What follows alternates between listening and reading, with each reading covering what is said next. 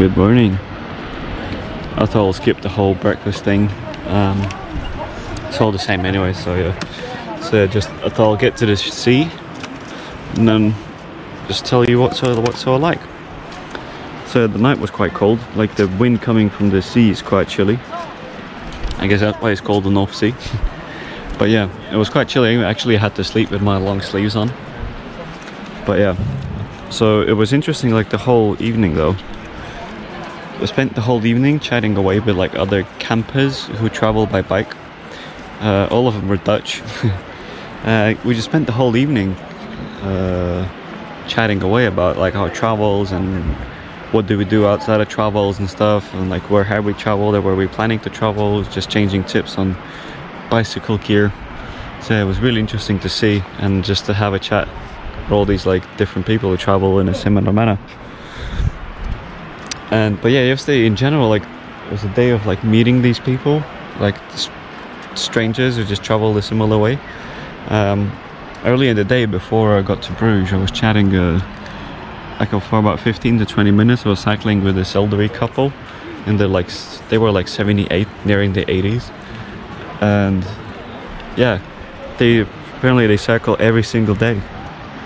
And when you see like people in that age being so alive and um, fit and full of energy. You just want to keep going and pushing like to carry on cycling or hiking or stuff like this. So yeah. And even like on the campsite there was this one lady. She was 80 years old. You would never ever be able to tell that she's 80 years old. And apparently she cycles like that as well. And apparently she just got back from a three months trip on a bike. And she does 80 to 120 kilometers a day in her 80s it's mad so yeah I think I need to step up my game I need to catch up to old people so I also didn't realize how close to France I was. It's apparently only like 30 kilometers from French border. So I'm gonna go, I'm gonna change my plans. I'm gonna go to Dunkirk and then like follow the coast past Calais and stuff rather than cut in through the inland. So yeah, I'm gonna follow that and today's mission also is before leaving Belgium, so within 30 kilometer strip, I have to find a place where I get Belgian waffle and a coffee. So that's the day's mission before I get to France. After I get to France, we'll see what they have to offer. But then definitely, probably like tomorrow, today's Saturday, yeah? So I think tomorrow, Sunday morning, needs to start with a coffee and a croissant. So yeah, gotta do the whole, you know, cliche things of each country. So let's see what France brings us.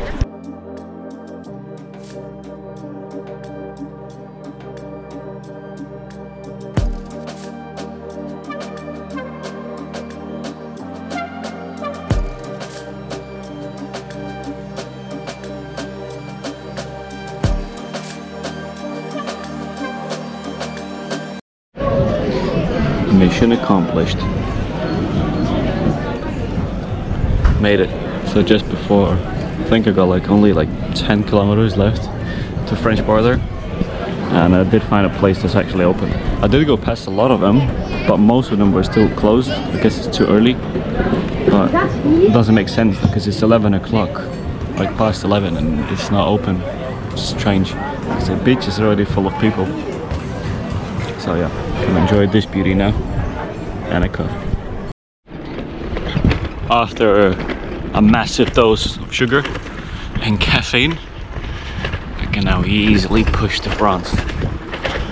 It's really tasty though, like it was, it was definitely different than what you I had like in Poland or in any other country. Like when you get like on the beach, you get the waffles. Like this one was definitely different. Like it's got it's got a lot of moisture in the middle as well and it was like really sticky sweet. It's like it's dipped in like melted sugar or something I don't know.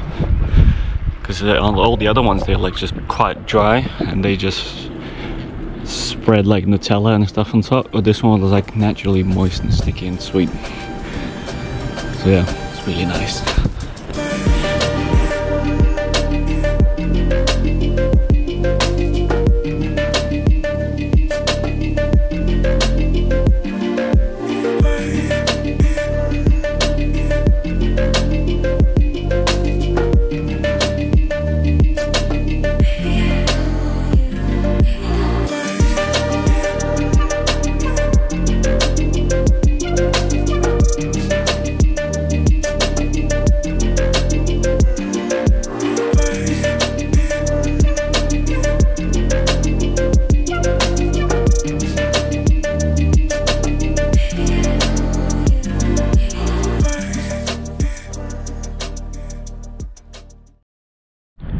So Google lied. It said the concrete path like this should be going all along this way to France, but it doesn't. So I'll just have to get across that darker bit of sand. I went there like on foot a look. It seems quite hard, and yeah, you can see like some bike tracks here as well. So I'll go closer to the sea and I'll try to cycle along the beach on the sand yeah it should be fine. It seems quite compact so. And I think you're going to get some nice views going on that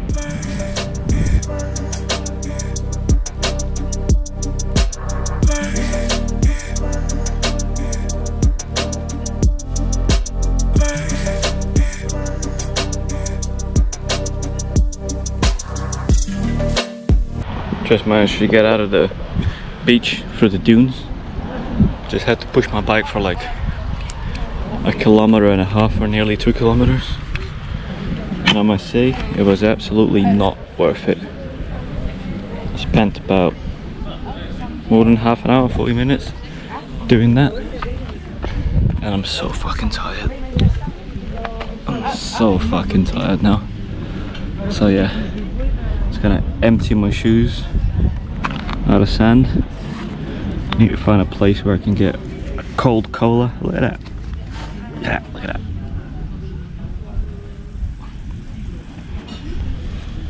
I turned a nice day into a shitty day.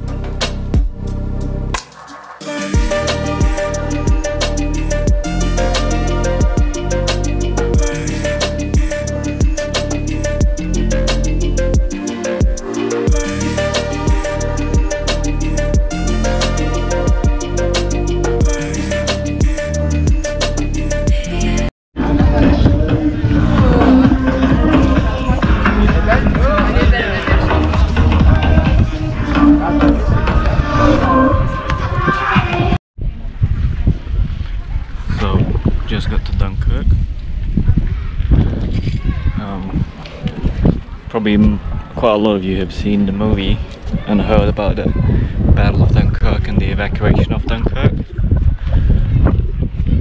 So quite a lot of it has happened around here in these beaches.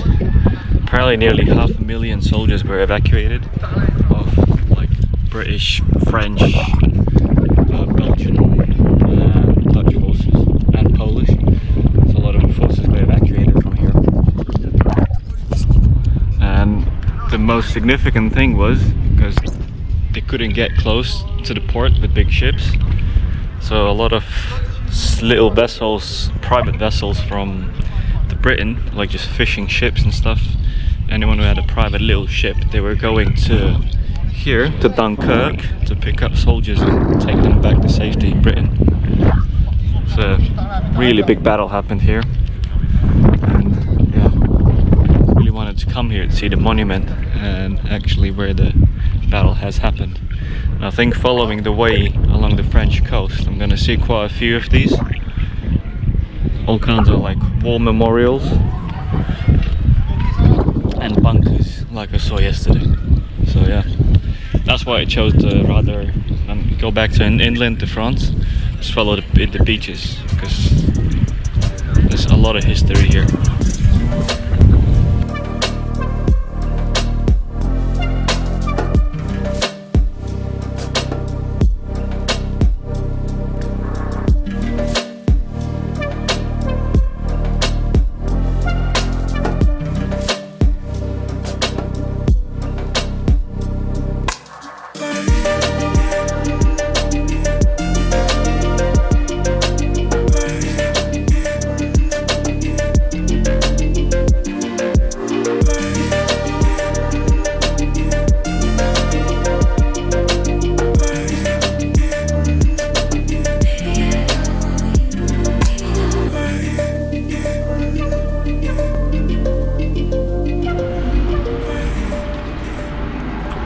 Just done a quick stop at um, uh, town of Saint-Folquin. Um, just had a quick sandwich, um, energy drink, had a like a call with the family as well. So yeah, so far it's not really been really good entrance to France, where I was stuck uh, like on the Belgium side, like stuck in the sand. Then as I come in France, like the roads were quite bad, but also as I was following uh, a couple of cycleways, one was shut. Then I went to another one, it was shut as well. So I had to take another detour so I took quite a lot of detours.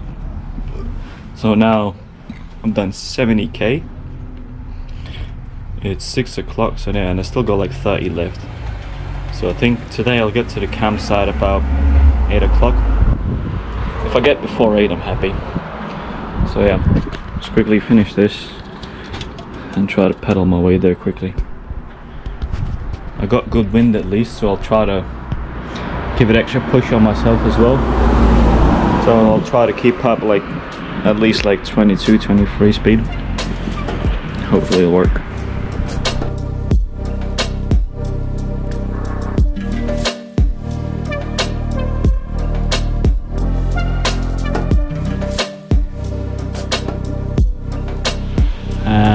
another one.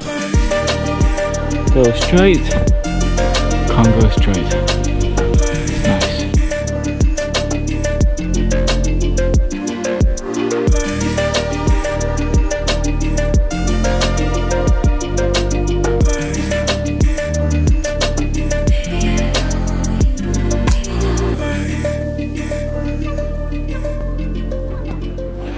finally made it to campsite. No slippers already. Pushing hard for the last 30k. Um, my average was at least like 25. So yeah, pushing really hard. But luckily I also had the wind on my back. So made it. So now I just need to cook pasta. I have a little bit of salami left. I've got some pickles, um, some crisps, and yeah and I've got loads of tea left I didn't drink much today so yeah. I'm gonna set everything up have a chat with my family. Um, my power banks I've got two of them flat and couldn't find anywhere to charge really like to leave it safely. And the only place I could see like it was in the bathroom or the laundry room. So I think what I'm gonna do is I'm gonna go late in the evening to the laundry room put my power banks in charge and then come back probably wake up at like 5 o'clock in the morning go um, go collect them. Because there's loads of people and just don't feel safe leaving them like from now overnight. So yeah I'm gonna just probably just go just before bed like half 11 or so. And just yeah just leave the power banks there. But for now just pack up um, well have dinner. And yeah just enjoy the evening so first impressions of France? Loads of rubbish. There was just so much rubbish everywhere like on the like alongside the roads and streets. Ooh, car. So there was just rubbish everywhere alongside roads car uh, alongside the road. Um, I saw quite a few refugees as well, at least like 20 or more. And there was so many like shopping carts along the way as well, like on the cycle roads. So yeah, like the first impression was that it's not clean. Um, and also what is, seems strange, like you're going past all the towns and cities and there's not a lot of people. And it seems like all the businesses are closed as well. Like all the stores were most of the stores were closed most of the cafes were closed. It seems like everything was shut. So it was really strange but I don't know maybe just like this part I'm gonna see like obviously tomorrow how the further going into France is but like around Calais and Dunkirk um, I must say well, I'm not really impressed but yeah I'll see how it goes further in because for now it's just loads of rubbish crappy roads. a lot of roads were closed as well. So yeah, we'll see how it goes going deeper into France. But first impression,